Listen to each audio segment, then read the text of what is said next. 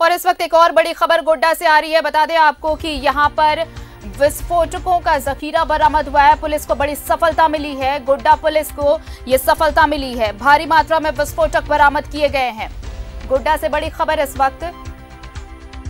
वाहन जाँच के दौरान पुलिस ने विस्फोटक बरामद किया है। तो तबाही का सामान जब्त किया है पुलिस ने। वाहन चेकिंग अभियान के दौरान ये बड़ी सफलता पुलिस के हाथ लगी है। विस्फोटकों का जखीरा जब्त किया गया है। भारी मात्रा में विस्फोटक बरामद किए गए हैं। अब पुलिस तमाम छानबीन कर रही है कि आखिर ये विस्फोटक कहाँ से लाए जा रहे थे और कहाँ पहुँचाए जाने थे। और ये एक्सक्लूसिव तस्वीर हम आपको दिखा रहे हैं, देखिए। पुलिस को बड़ी सफलता, ये गोड्डा की तस्वीर जहाँ पर भारी मात्रा में विस्फोटक बरामद किए गए हैं। लगभग छह हज़ार किलो का ये विस्फोटक।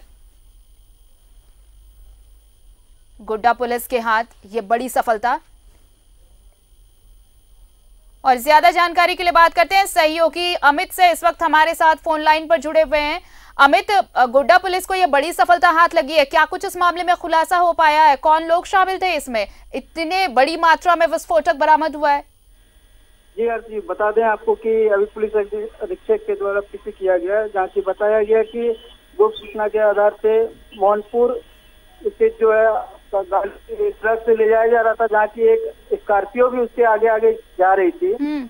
जहाँ की दोनों गाड़ी को रोका गया लेकिन वो लोग दस्ती गाड़ी को देख के आगे तेज से गाड़ी को भगाने में भगाने लगे और जी, आपका जी। गाड़ी को रोका गया लेकिन वो नहीं रुके हम्म। वही अंधेरे का फ़ायदा उठा के स्कॉर्पियो गाड़ी फरार हो गई लेकिन ट्रक को पकड़ लिया गया जी। वही ट्रक से एक आदमी जो है आपका पकड़ा गया है जो कि अपने आप को गाड़ी का खलासी बता रहा है। हम्म।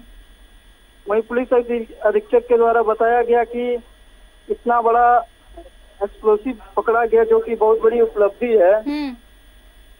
वही बताया गया है कि आगे क्या इस मामले में अब तक सिर्फ़ एक शख्स की गिरफ्तारी हुई है? अमित क्या? सिर्फ़ चालक की गिरफ्तारी हुई है और किसी की गिरफ्तारी हुई है चालक नहीं नहीं अभी किसी की गिरफ्तारी नहीं हुई है लेकिन पुलिस अधीक्षक का कहना है कि इसके जो किंग है मतलब जो भी माफिया चला रहे हैं इतने दिनों से चलाया जा रहा है हम्म। और आज ये गिरफ्त में आए हैं इसके जकीरा तक पता लगाया जाएगा और हम्म। इन्होंने बताया कि दो इसमें एक्सप्लोसिव और डिटोनेट हम्म। जो कि आपका विस्फोट के सामान में आपका काम आता है एक आंध्र प्रदेश का डिटोनेट है जी और आपका एक, जो है, वो वो भी उधर के ही बताए जा रहे हैं। जहाँ की बताया जा रहा है कि पुलिस अधीक्षक इनके लिए पुलिस टीम का भी गठित किया गया है और आगे चलिए बहुत बहुत शुक्रिया आपका अमित तमाम जानकारी के लिए।